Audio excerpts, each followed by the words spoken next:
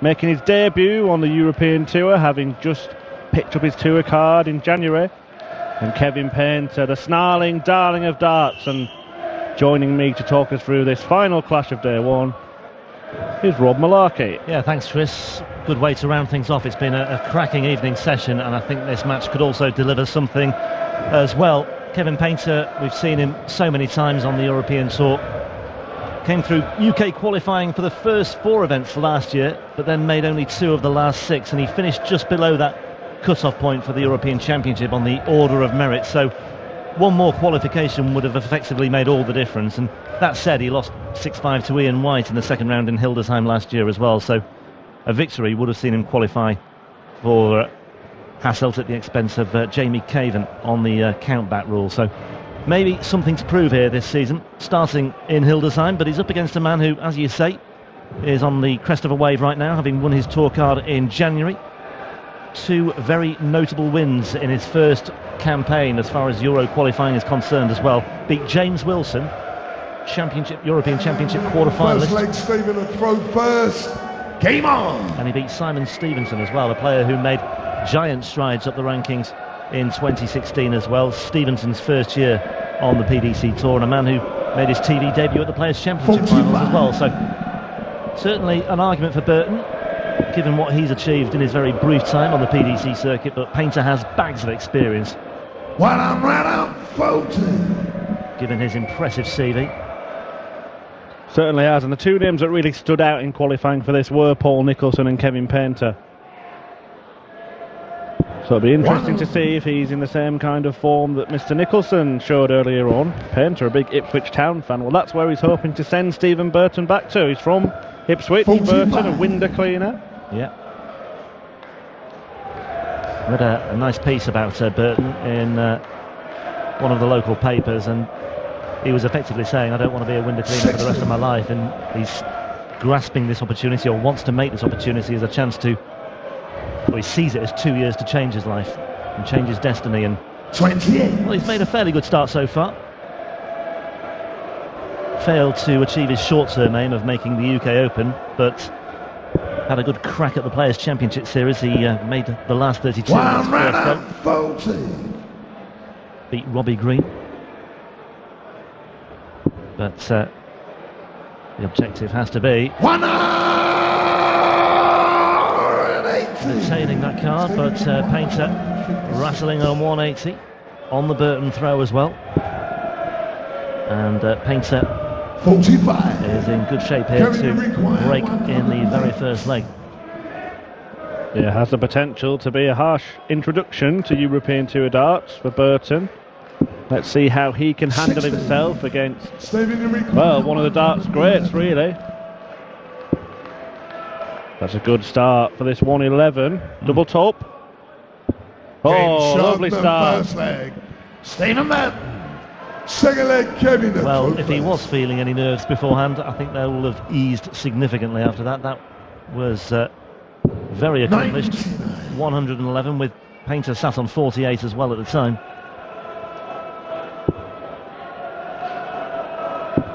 Yeah, 33 players left in the tournament. 130. One more to exit before our second round tomorrow. And that'll be one of this pair with Simon Whitlock awaiting the winner. Mm. Number six seed now, Simon Whitlock, having had to qualify for many of the events last year and not always having achieved that. Whitlock's made sure that he won't be messing around in the qualifiers in 2017 with his good form on the floor. Absolutely. Um, really has just had this renaissance over the last six to eight months or so. 77. Or maybe further back than that, actually. Yeah, the beard is to be feared again, and will he be feared by the winner of this? Well, I think he has every right to be feared because he's uh, certainly doing the business once again. 99. But Stephen Burton sh- certainly showing no fear, is he, on his big stage bow? 45. He'll, he'll get six darts from here by virtue of that 45 visit from Kevin. Oh dear. 67.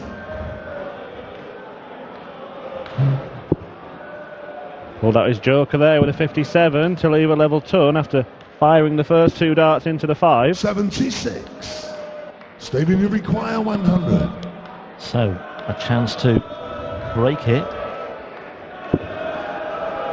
Tens. 90. Uh, Some way inside, Kevin, but you require 104. will he return? That's the question here. Treble 18. Oh, he went for the 20s instead. 84 remaining. No, he won't finish now. 100. So double Stephen, five to break and double his lead. That's That's- way high. And that's low, so Painter will come Seven back. score. That going double one. And that went in double one Kevin, as well. So require just to four. Make life even more difficult for Stephen Burton. Painter though on double two. Won't want to mess about too much on this. Awkward. Game shot the second leg. Maybe not. Henry Painter, third leg, Stephen the throw first. Game on. So we will be back tomorrow with uh, the last 32, second round played out over two sessions as we've seen some fantastic action and a great atmosphere today, Rob. So imagine what it's going to be like in here when the likes of Michael Van Gerwen and Peter Wright take to the stage. It will be absolutely heaving in here tomorrow. 140. It's going to be a, a warm weekend as well, and I think inside it'll feel like it's the height of summer. Interesting as well when you look at Burton's progression through Q School earlier this year as well. He he came through as one of the automatic entrants, doing the business fairly early on, but three of the players he beat 130. actually went on to get a tour card as well. So they proved to be, as it turned out, some of the more consistent players over the course of the four days. Madars Razma, Darren Johnson, and Steve 60. Hyde. So it wasn't as if he was done any particular favours by the draw. Rode his luck to an extent as well against Keita Ono, the Japanese player, but uh, in the end it was. 100. Oh, yes, for Stephen Burton. Like it.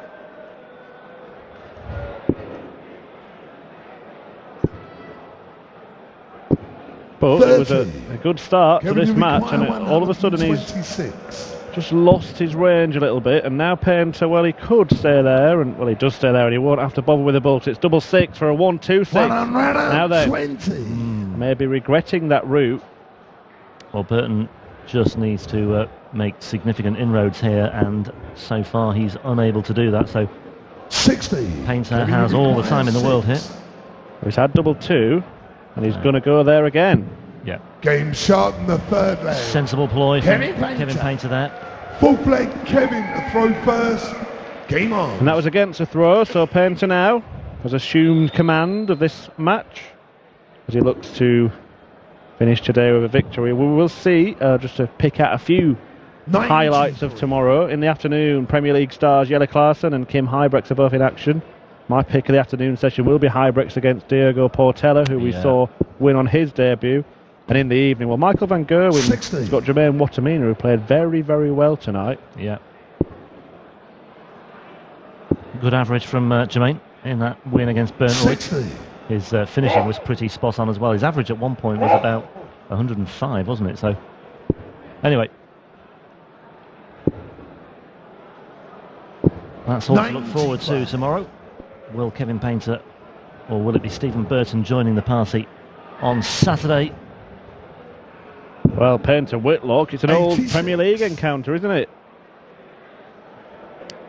How times have changed for Kevin. He's down to 46 on the order of merit now. 140. Is one of the players to hold a PDC major, having won the Players' Championship finals back in 2011, Yeah. beating Mark Webster in Doncaster.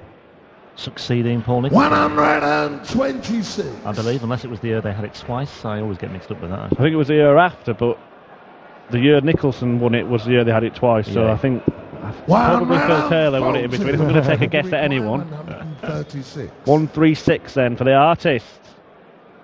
And, oh, he's just gone underneath that time. 96. Uh, Stephen, you well. require 66. Almost on the treble 16 bed there as well. 16 for tops. Here's double top. Game And he shot lands the it. full flag. Stephen Burton. Breaks back straight away. Fifth leg, Stephen the throw first. Game on. Not done with just yet at all is uh, Stephen Burton, and uh, credit to him there because Painter looked as though he was just beginning to build up a head of steam, but Burton responding well. We've already seen one former World Championship finalist, by the way, lose out today. Kirk Shepherd suffering a defeat in the first match of the day against Richie Corner. Painter made the final of the big one in 2004. 131. Yeah, his potential opponent Whitlock, also a former World Championship finalist back in 2010. Yeah, big, big match that if it comes off. But Burton's got something to say about this.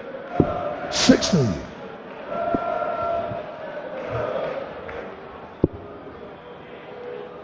Just goes gone are the days when you're uh, you've not got much to talk about for the, the players that are in action on the first day of these events. Well, You've that's got it. A couple of former World Championship finalists, former Premier League stars. And players who are just doing it week in, week out on the Pro Tour anyway. 85. Players who've done the business on the development tour as well, who are coming through and making an appearance as well. So yeah, you're absolutely uh, spot on, Chris. 95. Burton, as we said, in his maiden season, he's 29 years old now. It's interesting, darts, because you, you can't really put your finger on a peak age, can you? See the likes of Michael Van Gogh storming through from a young age, yet the likes of Peter Wright, Gary 90. Anderson peaking towards the 40s and in the 40s. And someone like Alan Norris, who only, well, he was voted PDC Newcomer of the Year, and what was he? 44 years old at the time. 100. Um, it's no barrier. And uh, the older guard have made an impression today. Richie Corner, 54 years old. Paul Harvey as well. Kevin Painter himself is 50 this year too. Yeah, Mervyn King, the other side of Kevin 50. require 120. But then there's the nice balance with the, uh, the likes of Dimitri Van den Bergh winning today. Portela's only 28. David Pallett still in his 20s as well. Stephen, you require 140. Really must be the most inclusive sport. On that basis, age, certainly. And in terms of finance, I mean, 60. if you're good Kevin, enough, you can pick up a set of darts relatively cheaply. You don't have to pick up scholarships and fly halfway across the world to go to camps in America or whatever. So a Painter wants tops now to break back. 55. Stephen, you require 80. Yeah, and you're seeing a professional change in how the youngsters are getting in. They're getting through academies and you know the the Junior Darts Corporation, the PDC Forty. Youth Tour. It's not all Kevin, just you require happening in 20. pubs now, is it? And Well, that's it. I mean, the decline of pubs as well. There were people who feared that darts might just ebb away and, you know, lose its uh, status, but anything but. It's it's been exactly the opposite. 15. You know, there's, there are alternative ways of require starting a career 40. and picking up a set of darts for the first time. Burton led after one leg. Then Game Painter shot the wrestled the advantage leg. from him, but he has now Burton, regained that. Six leg Kevin at throw first. And we'll start to see the Painter snarl. 89.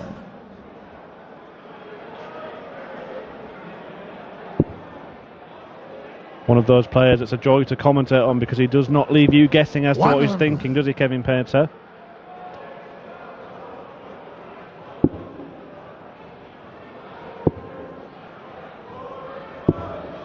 One hour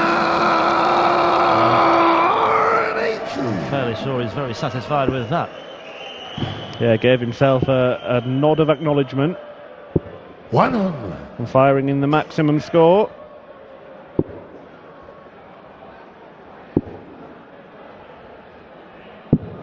Sixty-five. Yep. Well, he's down to a finish of 167. That uh, final dart was good thinking from Painter. Twenty-six. Kevin, you require one hundred and Just knew instinctively where to go.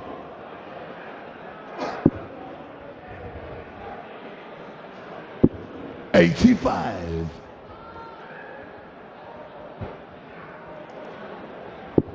Well, Burton won't give up just yet. Should go 25 or ball now, One hundred and five. Kevin, you require just to leave himself with a chance should Painter not clean this up. Tops he wants then for a 3-3 scoreline. Forty-two. And now Burton Stephen, needs the big one. require one hundred and seventy. which won't go. So 60. Painter, Kevin, you require favourite here to level the match at three apiece. Game shot in the sixth leg. Kevin Painter, And seventh on we leg. go. Stephen the throw first. Game on. Yeah, a bit of a battle, isn't it?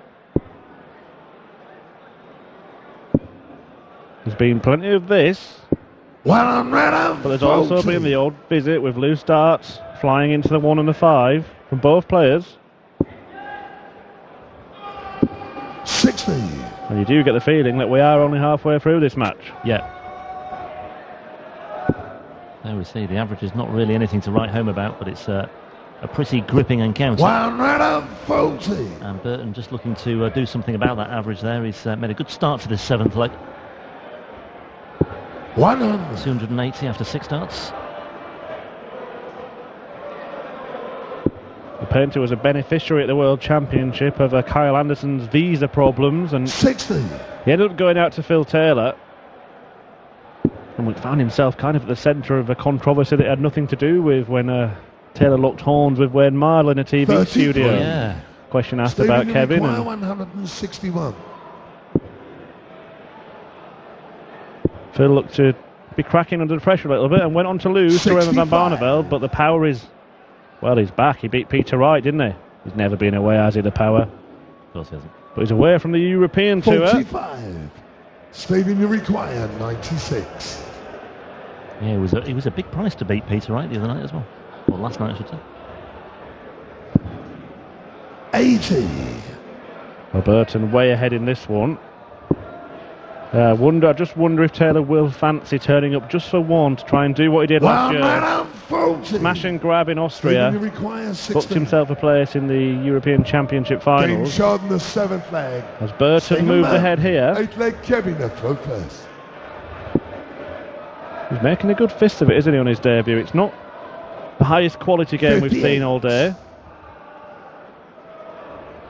But he's two legs away from a place in the second round now. Yeah, and with uh, Painter making a sluggish start there, Burton knows he has to jump all over this, but just a flat sun from Burton.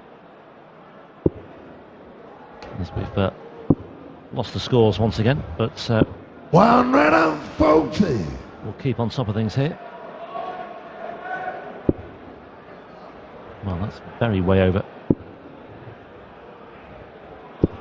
26. There you see, Painter on 303. Normally, a player of his experience would move down the board because 133 would leave the finish. To deflect into the treble three. They're just one of those shots where sometimes you wonder why they're switching. That's why. 519s leaves a finish where 560s 135. Yeah, just smooths the uh, smooths the passage. 97. Kevin you require 83. Of course, I meant seven when I said that. Anyway, here we go. 83, double 16, double eight. 75. He is another player who prefers to be down in that segment rather than up at the top. Kevin Painter. It's kind of old school, isn't it? Because the 16 splits down more than any other number. 100. Yeah. Kevin you require 8.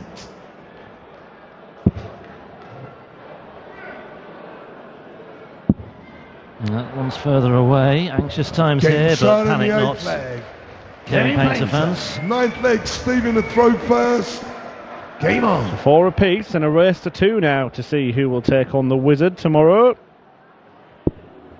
That will be the penultimate game. One tomorrow's evening session. 140.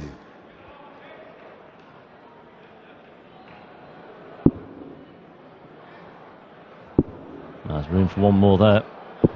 Yeah. 180. exploiting the gaps. The first start was absolutely perfect. There was acres of room to work with there as well, and he found his way through. 100. Well, there was room for another three after that to the other side. Could have put a mirror image up and left himself 1 4 1 after six. A 180 on your opponent's throw 45. always feels like more. But look at that. He's followed it up very, very disappointingly. Been the story of the match, hasn't it? Just 60. not able to find that degree of consistency that he wants. And once again, can't find the big number. Or the treble bet, I should say. Uh, 180, and then he's only got half that score with the next six starts combined. And here looks Stephen Burton. 29. Well, will that prove costly?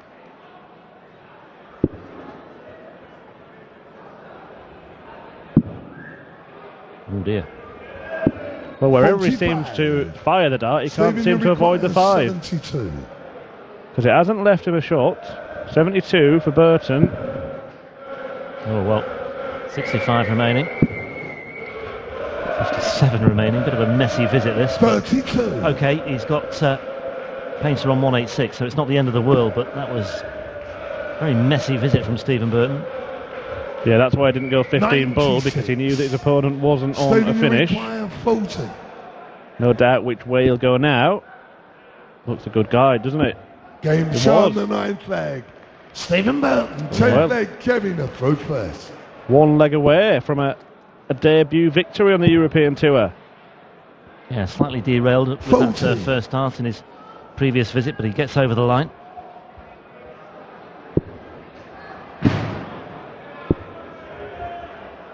Can he hold his nerve here? 41. Well, shame that because Painter only registering 40 on his first visit. And 120. just for a moment there, I thought he was going to back it up with a ton 80.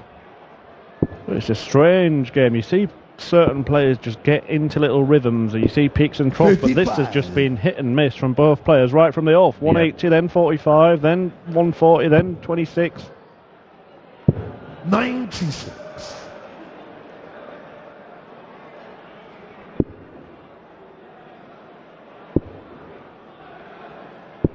Ninety-five.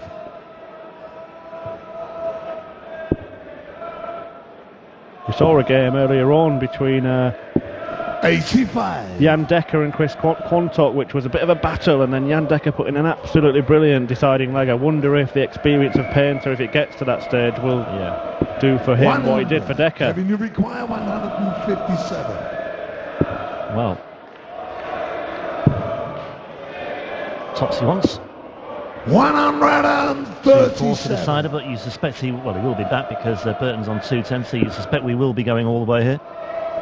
Well, a fitting finale to an interesting day of darts. Fifty. We've seen Kevin, some shots. An excellent story with the first Brazilian player making his way through, Diogo Portela. Hang on a moment though. Painter in a spot of bother here.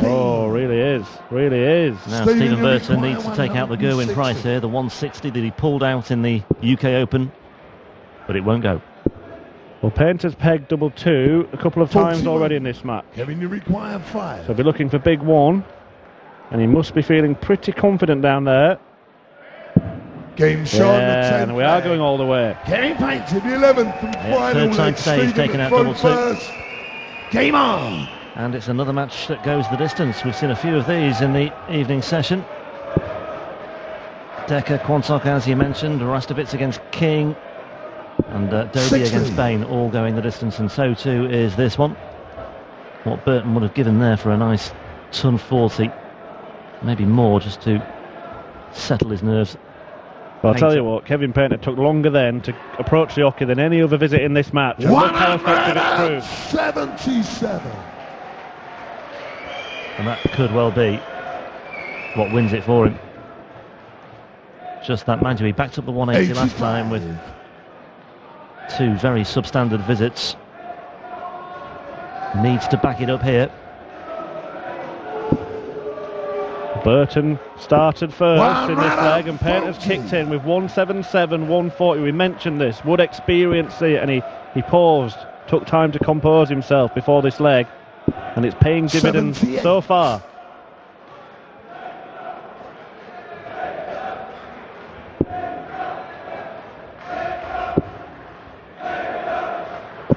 Sixty. Shades or echoes of what happened before, but he's still in a very, very good position here. It's all right. He knows now he's going to get two visits to clean up the 1-2-4. Kevin, you require 124. Yeah, it's looking bleak here for Stephen Burton. Painter a strong favourite now to go through, unless